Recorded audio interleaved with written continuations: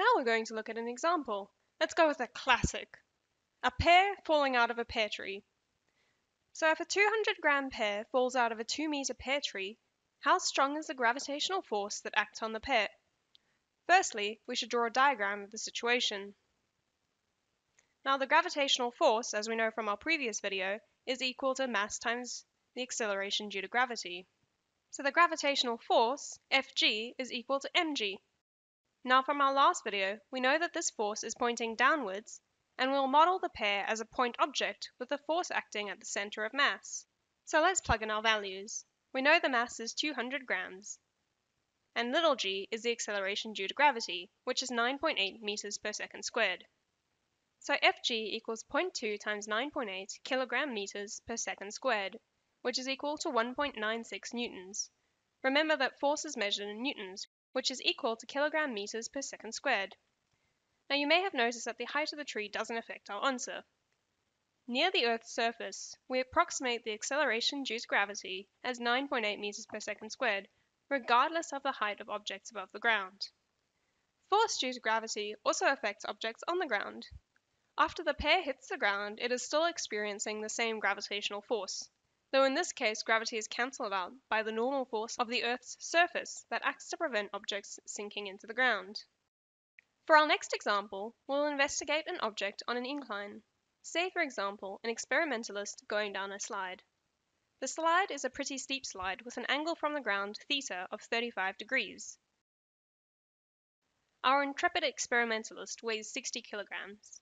What is the net force on the experimentalist sliding down the slide? Firstly, we'll draw a diagram of the situation. Now, the slide is pretty smooth, so we're going to neglect friction to get a rough idea of the net force a person will experience. We'll introduce friction in the next video. So we know that from a stationary start, the experimentalist will slide down the slide. So we can already infer that the net force will point down the slide. But how? Well, let's consider the forces at work. On Earth, we have gravity, which as always points directly downwards. But there's also a normal force from the slide pointing perpendicularly to the slide surface. We know this because the experiment is hopefully not breaking the slide. So how can we work out the net force? Well, let's look at our gravitational force as a vector, which can be broken up into perpendicular components, or at right angles to each other, a common choice of breaking vectors up is using vertical and horizontal axes, although in this example we won't use these axes specifically. So, breaking vectors up essentially means that we can split vectors into two smaller vectors at right angles, which can be added together to create the original vector. The net forces on the experimentalist cannot be neatly summed in the same direction, as they're acting at different angles, so let's break up the gravitational force into a component along the ramp and a component perpendicular to the ramp. Let's use our intuition here. There is no motion or acceleration perpendicular to the ramp, as we have assumed that the experimentalist stays on the slide's surface. So we know that the normal force from the slide cancels out the component of gravity parallel to this normal force, which is perpendicular to the slide's surface. This means that the net force on the experimentalist is entirely the component of gravity perpendicular to the normal force, which is parallel to the slide's surface.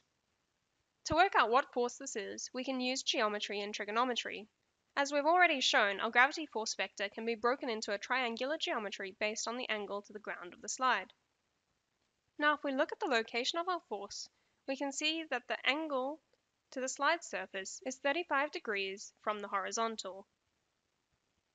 Now the angle of the slide and the angle of the normal force together make up a 90 degree angle, and similarly, the horizontal and vertical components will also make up a 90 degree angle. So we can see that the angle at the top of our triangle is also equal to 35 degrees. Now, if we want to find the side of the triangle that is perpendicular to the normal force, we need to use trigonometry. So if you remember SOHCAHTOA, we label each of the three sides of the triangle, and we find that we want the side of the triangle that is opposite to the angle side of the triangle that we already know is the hypotenuse, which is FG. So we have that sine of 35 degrees is equal to our net force divided by our gravitational force. We know that the gravitational force Fg is equal to mass times acceleration due to gravity. So if we plug in all of our values and rearrange our equation, we find that the net force is equal to mg times sine of 35 degrees. And this is equal to 337 newtons, and we have our answer. Now, if we wanted to find the acceleration of the experimentalist, we know that the acceleration is equal to force divided by mass.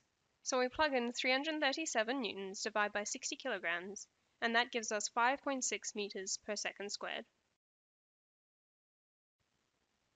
As a final thought, what do you think would happen if we doubled the steepness of the ramp, so as at 70 degrees instead of 35 degrees?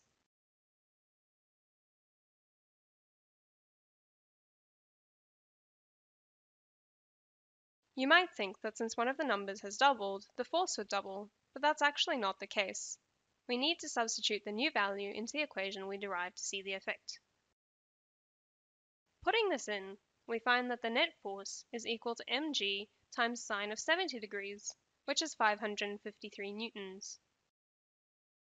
As before, we can use our equation for acceleration to find that the experimentalist will accelerate at 9.2 meters per second squared. While this is bigger, it's not twice as big as our previous answer. The reason it's not twice as big is because when theta doubles, sine of theta doesn't double. In other words, sine isn't a linear function.